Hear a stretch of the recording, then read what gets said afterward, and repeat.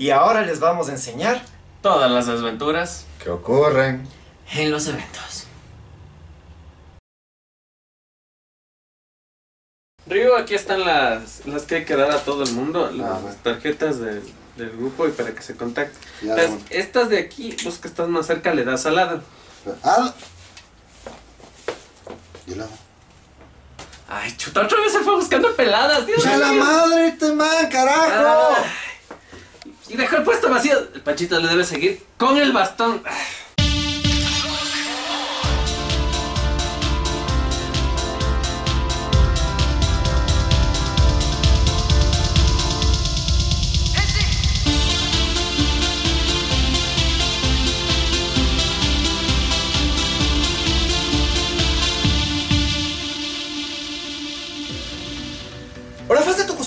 Tokusatsu, ¿cómo están? Les saluda su amigo Daniel Pérez, estamos en un nuevo video para nuestro canal de YouTube aquí en Tokusatsu Ecuador. Muchas gracias por acompañarnos. El día de hoy tenemos un nuevo top 5 y pues para las personas que ya han visto estos videos pues ya saben qué hacer y para aquellos que nos acompañan por primera vez les vamos a explicar cómo funciona esto. En este momento ustedes van a poner pausa al video, van a ir a la parte de los comentarios y me van a decir cuáles son para ustedes las 5 mejores armas de Power Rangers. Luego ponemos play otra vez en el video y vemos si es que lo que ustedes describieron y lo que yo voy a decir concuerdan o cuáles me faltaron a mí o cuáles eh, coincidimos y pues veamos qué tal está. Pongan pause ahora y volvemos para el top. Muy bien, dicho esto, las armas de Power Rangers son un elemento muy muy importante en la serie, ya que cada una de estas armas refleja una parte de la temática de la serie, de los poderes de los Rangers y hasta cierto punto la historia, la trama. Obviamente que esto está mucho más desarrollado en el Super Sentai, eso no lo vamos a negar. Por ejemplo, la historia de las cinco armas legendarias de Kyoryu Sentai Ranger que después se convirtieron en las armas de poder en, en Power Rangers. Pero eso no quiere decir que no haya armas con historias legendarias y las vamos a ver el día de hoy. En el puesto número 5, una de las armas legendarias más raras que aparecieron en la historia de los Power Rangers, les estoy hablando por supuesto de los Trans Daggers de Power Rangers La Galaxia Perdida.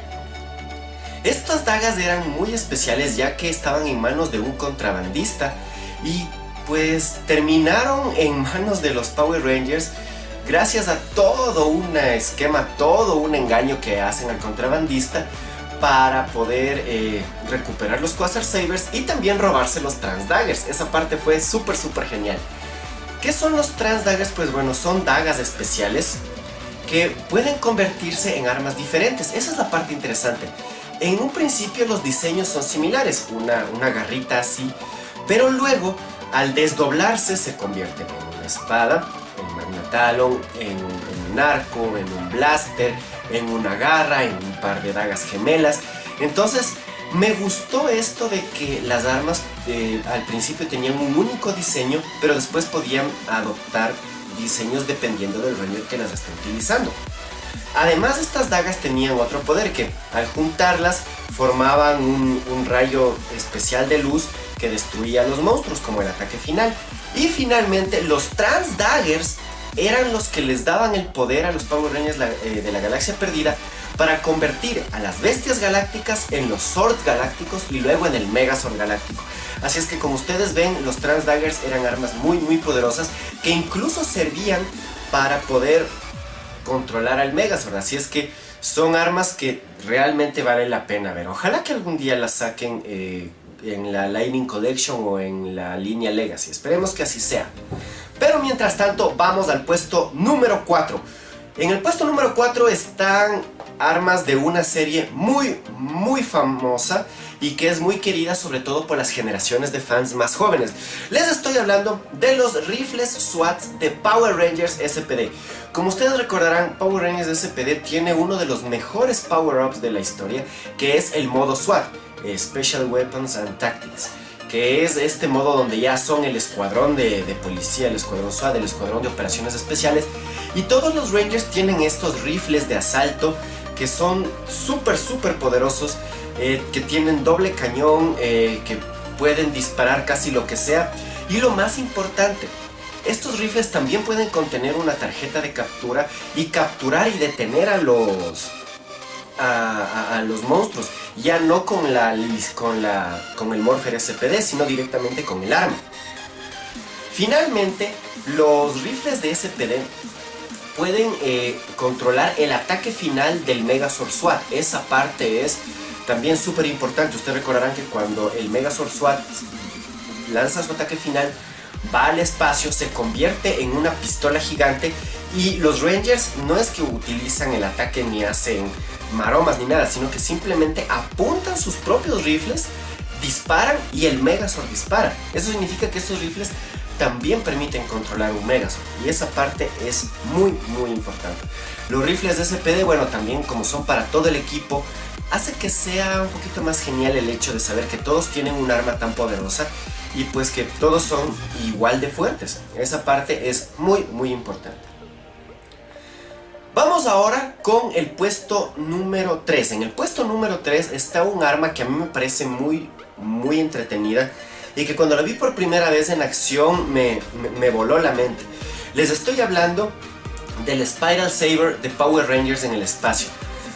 Para los que han visto eh, Power Rangers en el espacio, saben que esta es una de las mejores temporadas de la serie.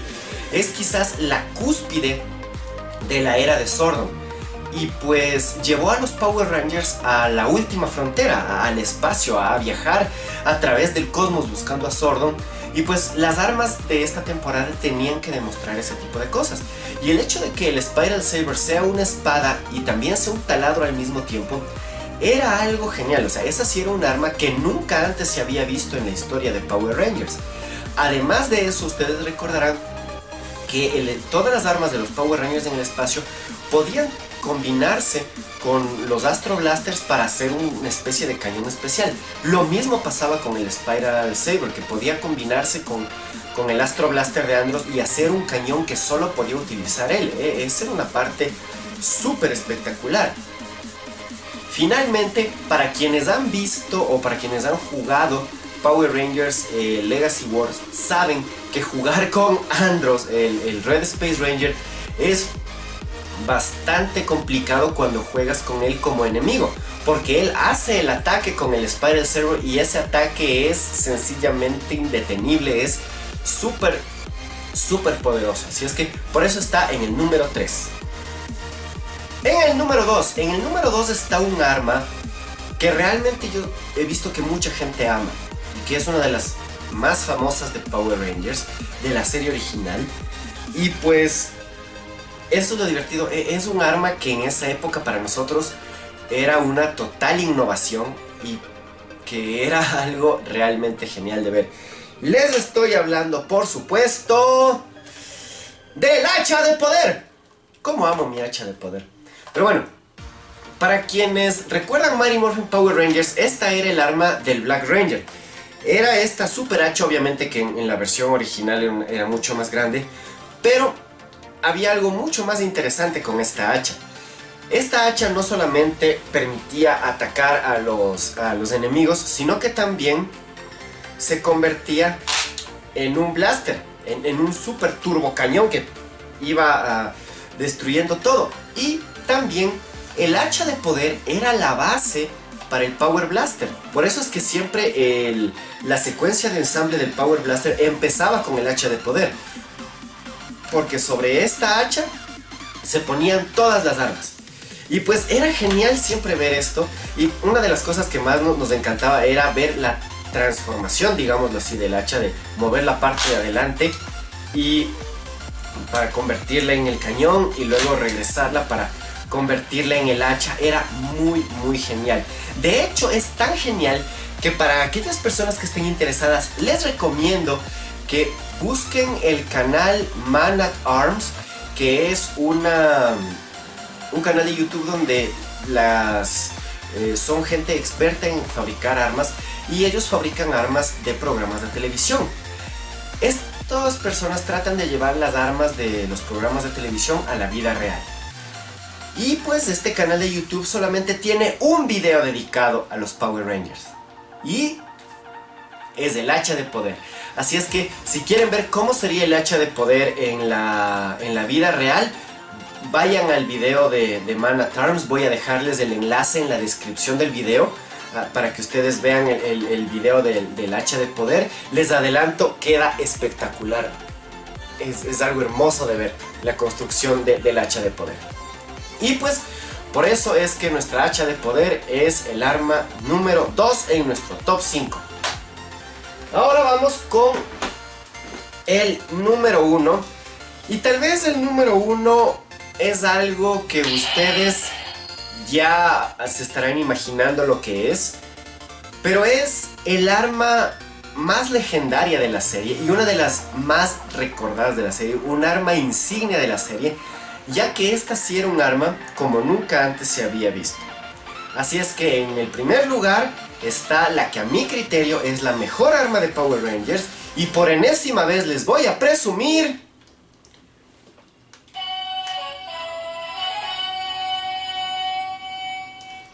La daga del Dragon Sword. Esta es eh, para mí la mejor arma de Power Rangers porque sencillamente era lo más hermoso del mundo ver que era, un- era una, una daga pero también era una flauta y que con esta flauta se controlaba al poderoso Dragon. Y pues, ¿qué les puedo decir? Eh, para los que vieron Mighty Morphin Power Rangers, no me refiero a los que la han visto ahorita o, o- o los que han decidido volver a verla. Cuando la veíamos cuando éramos niños, cuando todos teníamos 8 años, o sea, en mi caso hace más de 20 años. Pero cuando todos teníamos 7, 8 años y vimos por primera vez a Tommy tocando la flauta de, la, daga del Dragon perdón, e invocando al Dragon Sword, era lo más genial del mundo. Además, y hasta donde nos ha permitido conocer la serie, eh, la persona que tenga esta daga no solamente puede eh, controlar al Dragon Sword, sino que también acepta el escudo del dragón, eh, el escudo de, Tommy.